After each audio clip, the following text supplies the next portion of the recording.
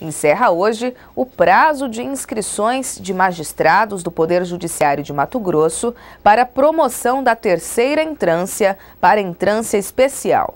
O concurso oferece 10 vagas providas pelos critérios de antiguidade e merecimento.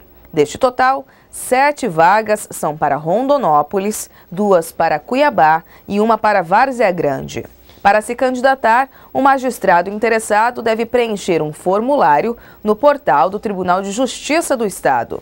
É válido lembrar que no dia 16 de outubro, o TJ promoveu 48 juízes da segunda para a terceira entrância. Magistrados esses que também podem participar desta nova rodada de movimentação na carreira.